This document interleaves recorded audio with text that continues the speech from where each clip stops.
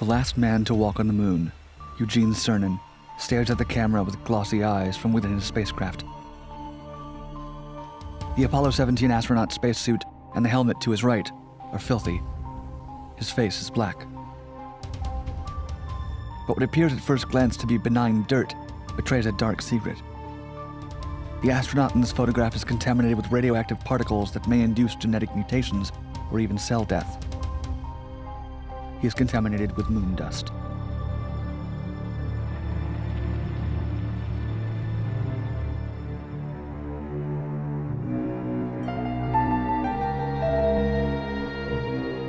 Before NASA invested in lunar exploration, the scientific community had little to no data on the long term physiological effects of landing on the moon and remaining there for prolonged intervals. Even now, as returning to the moon for eventual colonization is considered, empirical knowledge of the implications that a lunar residency may have on the body is scarce. Numerous potential dangers have been uncovered. If the moon were colonized, galactic cosmic rays would bombard inhabitants with a steady stream of high energy radiation. The low gravitational pull of the moon, which has approximately 17% of the Earth's strength, would affect bone and muscle mass, possibly resulting in atrophy and bone loss. The most intriguing and potentially harmful element, however, may be moon dust. The Apollo astronauts who walked on the lunar surface between 1969 and 1972 kicked up a lot of the stuff. It was so rampant on the moon that the powdery sediment lodged into every crease and cranny of their spacesuits.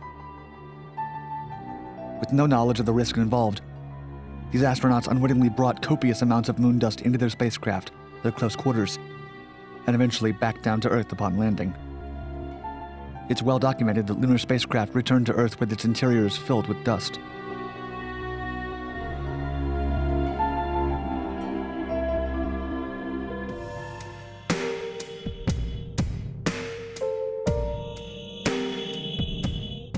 Astronauts who walked on the moon and kicked up all that lunar dust would later complain of what they called lunar hay fever.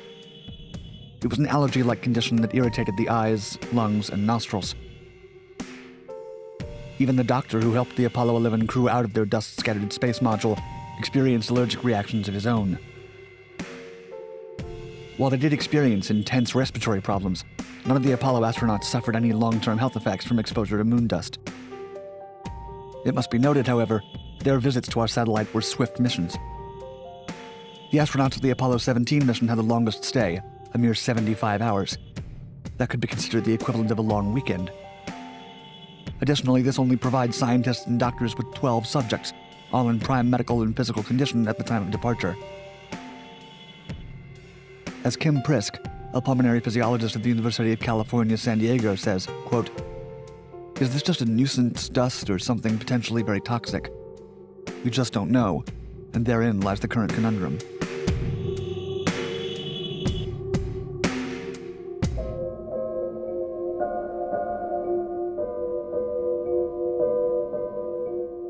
Eugene Cernan visited our lunar neighbor on two occasions, aboard the Apollo 10 and Apollo 17 missions. Apollo 10 was the last one to go up before the famous Apollo 11 mission in July 1969 that landed the first man on the moon. Cernan also did a challenging spacewalk aboard Gemini 9. It was Cernan who called lunar dust, quote, probably one of our greatest inhibitors to a nominal operation on the moon. He went on to add, I think we can overcome other physiological or physical or mechanical problems, except dust. Cernan made this statement at a post mission debriefing following his Apollo 17 mission and days after he'd walked on the moon, probably creating a dust cloud wherever he walked. Taking another look at Cernan's tainted face in the photo, one inevitably notices how tired he seems. The sizable bags under his eyes, the glossiness of his eyeballs, even his expression all hint at the exhaustion and allergy like symptoms induced by moon dust. It's possible that Cernan was having his own bout of lunar hay fever at the time this photo was snapped.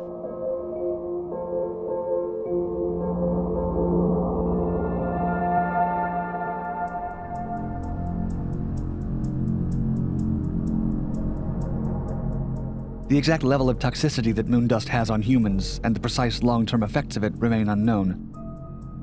Scientists and the general population continue to engage incessantly with the dream of human settlements on the moon. With scant solid evidence regarding the health consequences of living outside the Earth, the community must rely on theories, partial data, and studies that recreate or imitate particular elements of space exploration. As Laurence Young, a space medicine scientist at MIT's Department of Aeronautics and Astronautics, reminds us regarding health related data from the moon, quote, Except for the Apollo experience, we really have no data. Additionally, she has stressed that the Apollo missions to the moon were never designed with biomedical research in mind. Furthermore, moon dust samples collected by the Apollo astronauts are scarce. And, as with the dust lodged into spacecrafts and suits, those samples became relatively useless for their purpose in scientific analysis after coming into contact with Earth's moist, oxygen rich air. Even the International Space Station provides little insight as to what it would be like to live on the moon. While it counts as having nearly zero gravity on board, the station orbits within the protective dome of the Earth's magnetic field. The scenario differs from that of the moon, where only partial gravity and higher radiation levels rule the terrain. As for imitations of moon dust, a team at Stony Brook University utilized samples resembling the superficial deposits of high altitude lunar surfaces and tested their effects on human lung cells and rodent brain cells. Results suggested a high risk of genetic mutations and cell death. This raises questions about prolonged exposure to the real thing on a complete physiological being within a far less controlled environment. Could potential lunar residents face high rates of cancer and neurological degeneration? With no way of currently testing and proving these possibilities with absolute certainty, the true and full effects of moon dust remain to be seen.